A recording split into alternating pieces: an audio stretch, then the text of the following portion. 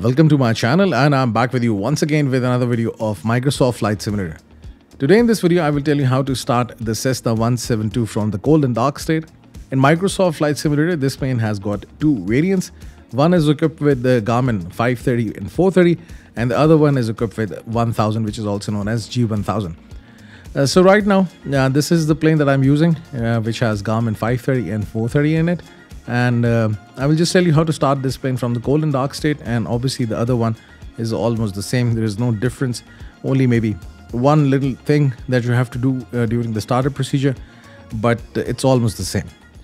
So uh, before you start this plane just make sure that the parking brake is engaged. Otherwise if you'll start the plane or the engine um, the plane will start moving. So get rid of the yoke by clicking it and then you will see this lever for the parking brake. Uh, just uh, click it and you will see the rudder paddles, both of them being pushed in. It means that the parking brake is now engaged. Then you have uh, the fuel selector. It's in the middle. It means that, that the fuel will be burned from both of the wings. If I move it towards the right side, then the fuel will be burned only from the right wing. And similarly, like this for the left wing. You keep it in the middle so that there is no disbalance uh, in the plane during the flight because if the fuel is only burned from one wing, then obviously the plane will be tilted towards the other side. So that's why I just keep it in the middle. Uh, then you have a fuel shut-off uh, valve. Uh, right now it's pulled out. If you press it, it's pushed all the way in. there is this wire coming in. You cannot see it. Otherwise, just if, if you don't see it, just uh, move your cursor over here. If you see the hand, just pull it out. It's off. And uh, once you push it in, uh, the fuel shut-off valve is now open and the fuel will flow towards the engine. Now what I'm going to do is this. I'm going to make sure uh, that the fuel mixture is uh, rich.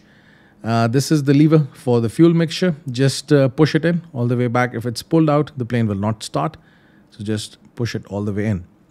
And uh, for the throttle, uh, just push it in a bit, but give a throttle by 25% and that's it. Now it's time to turn on the battery and the alternator. Uh, battery is obviously the battery which powers up the plane. And alternator is a device which actually takes uh, the mechanical power of the engine, converts it into kinetic energy, and charges the battery.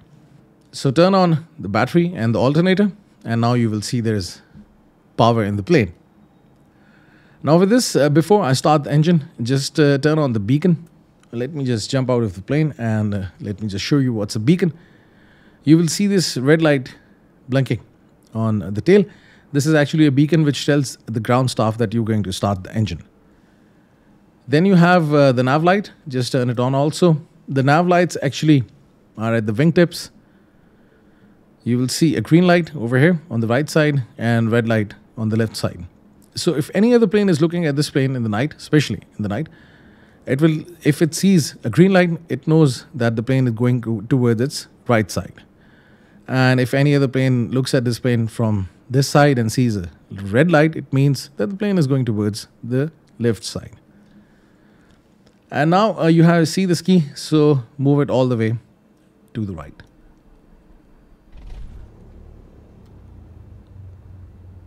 And that's it.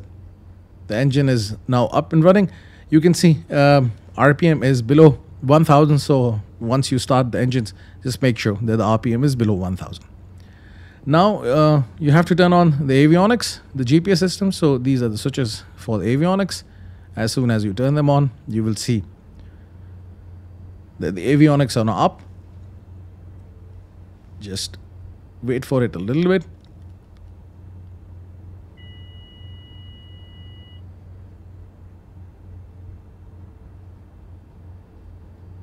It will take some time. All the information is getting loaded.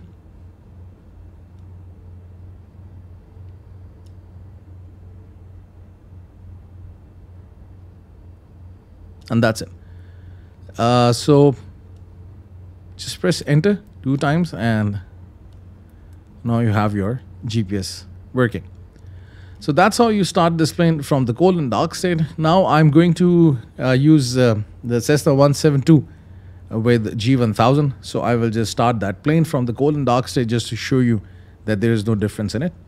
Now this is the cockpit for Cessna 172 with G1000 and you can see some big screens. Um, again, uh, just make sure that the parking brake is engaged. And as you can see that it's engaged. And uh, the fuel selector is in the middle. Uh, the fuel shut-off uh, valve is already pushed in. No need to do anything. And uh, the fuel mixture is also rich. Pushed all the way in. Uh, just give a little bit of throttle. And turn on the battery and the alternator. And then you will have some power in the plane.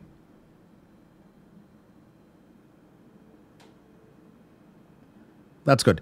Now what you can do is this. You can uh, just uh, move this button. This is the only difference that you have in the starter procedure. And uh, you can just uh, um, uh, turn on this switch for like two, three seconds. And you can just turn it off. Now turn on the beacon and the nav light. And then just move the key all the way to the right. And uh, the plane is up. It's running. And that's it and just turn on the avionics and that's it. So now the plane is up and running and that's how you start uh, the plane. Just uh, press enter and uh, that's it. Now you will see both the screens are up and running.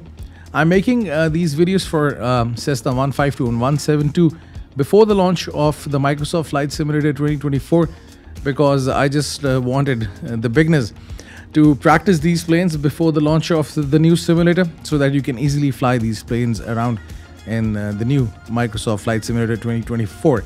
If you've got any questions, the comment section is there for you. Or if you want to add anything to this video, the comment section is there for you. Thank you very much for staying with me. Have a nice day. Hope to see you soon.